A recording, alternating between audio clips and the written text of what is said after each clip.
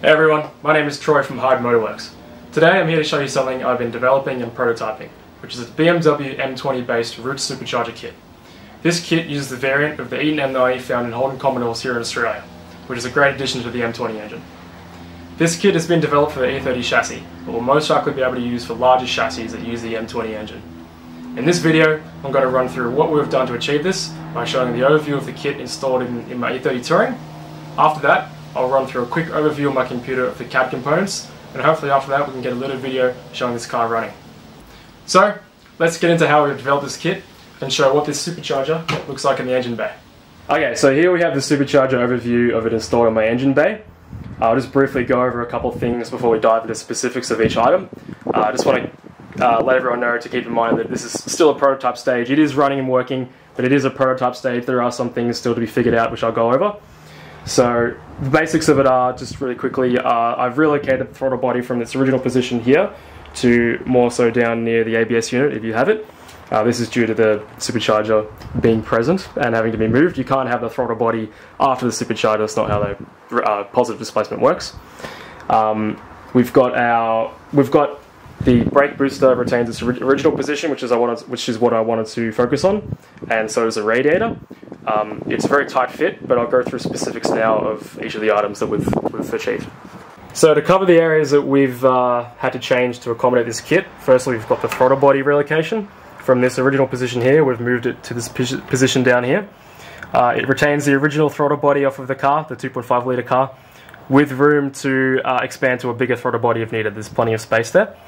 Um, we've also retained the uh, original ICV, which again you don't have to retain that if you don't want to. You can use some other type of idle control, but I've just kept this here. Um, and also, we've got just I've just got a 3D printed prototype um, throttle body holder there. Uh, this obviously won't be 3D printed in the in the in the product, but it's just there for for prototyping. Um, and with this as well, we've got a uh, extended throttle body cable which just runs the length of the back of the car, which is pretty standard. Also with this kit, we've had to incorporate a tensioner into the uh, supercharger. So if you zoom down in here, we've got a tensioner from a LS1 engine. They're found in Commodores here in Australia, and in the States you've got the uh, Chevys. So low cost item, very good, six rib capable, um, and that's how we handle the belt tension on the supercharger. And of course, the supercharger itself tucked away very nicely in there. Um, very tight fit, but everything does fit. Uh, the output charge is actually routed behind the supercharger from a, a, a base plate. Comes back around here and up into my water intercooler, which I've set that up for just space reasons, but of course you can run air to air intercooling. Um, again, this is a prototype kit, so this will probably move uh, closer towards the engine for the output. It'll come out a bit closer near the oil dipstick there. And that's the uh, supercharger. With this kit, we've also had to relocate the alternator, as it originally lived where the supercharger is now, so it needs a new home. Uh, we've moved it to where the um, air conditioning unit was. Uh, we do have plans to incorporate air conditioning in the future, but at the moment it's just uh, placed by the supercharger. Um, and bear in mind also, this kit does allow the use of power steering, which is uh, incorporated into our custom pulley, which we'll show in just a second. Okay, so on my computer now, and we'll view the CAD designs of this kit.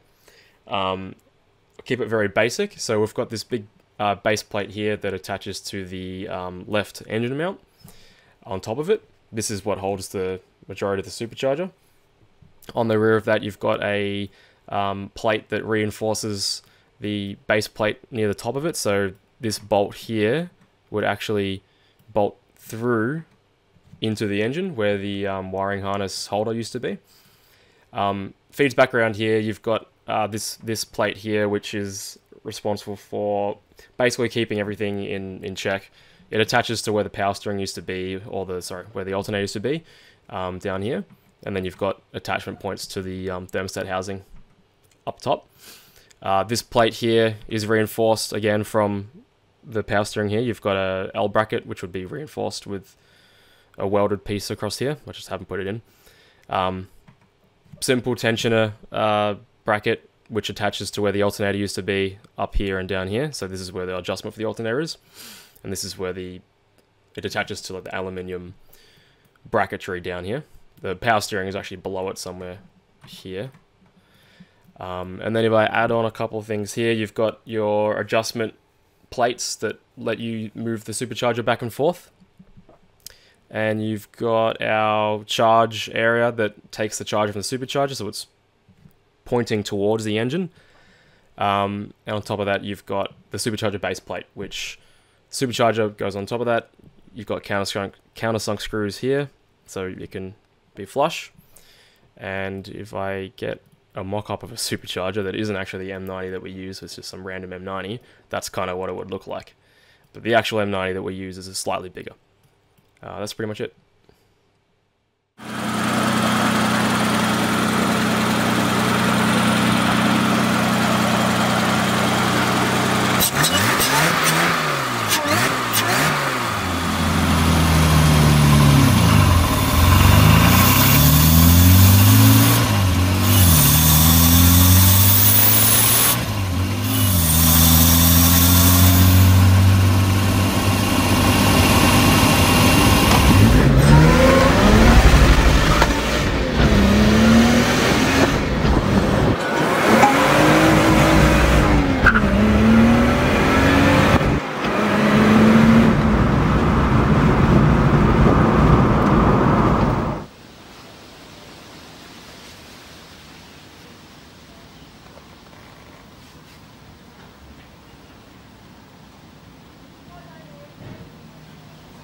It's good enough.